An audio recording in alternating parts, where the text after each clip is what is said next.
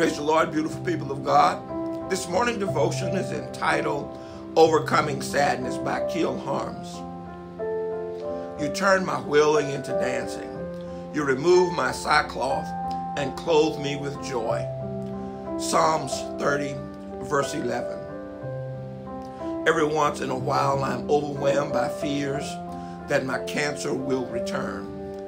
The fear often catches me off guard and leads me to despair. I don't relish the sad days, but I know it's okay to have them.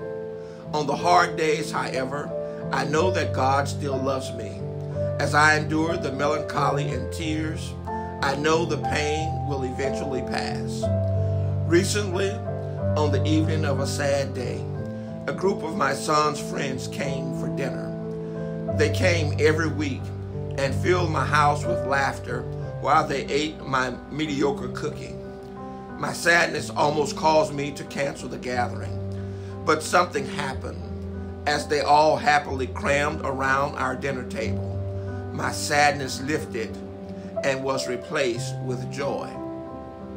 Those boys will likely never know it, but God used their happiness to bring me peace. Much in life can bring deep sadness, but God is good and a giver of good things. Life itself is a gift. My sons are a gift, and their friends are gifts. My time on this earth is a gift, and every sad second and joy filled moment. Our thought for today sadness will come, but God's gift of joy will follow.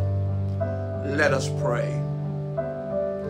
Dear God, thank you that you're always with us, even in our deep sadness. Thank you for the beautiful ways that you show up to bring us joy.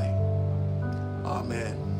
Once again, I'm going to encourage you to subscribe to this channel and please pass this devotion to five new people and encourage them to subscribe as well. God bless you and you have a great day.